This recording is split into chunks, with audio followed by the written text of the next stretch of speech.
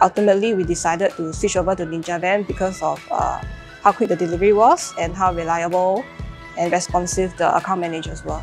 My name is Ling Min and I handle the operations at Hook Coffee and I also do a little bit of business development. So Hook Coffee is a coffee e-commerce company and we deliver coffee to your mailbox and to your office. Uh, if you make coffee at home, you can subscribe to us and then we will deliver the coffee to you wherever you're at.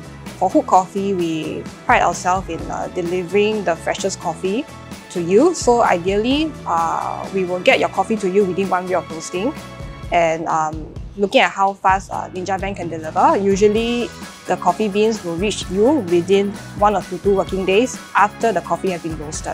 For example, we needed this uh, parcel for to be delivered to our corporate partner within like the next day. So, uh, so we quickly roast it today, pass it over to Ninja Van today, and the next day they delivered to our customers within the specific time frame which we requested. So that was very impressive and it was not something that other uh, delivery companies could offered.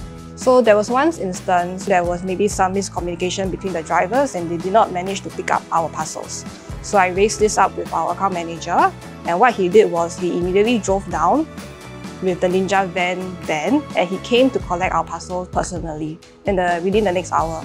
So I was very impressed with that and I decided that, uh, okay, we'll, we are going to go ahead with Ninja Van. I can safely say that Ninja Van is the most responsive and reliable uh, delivery service that Hook Coffee has ever engaged.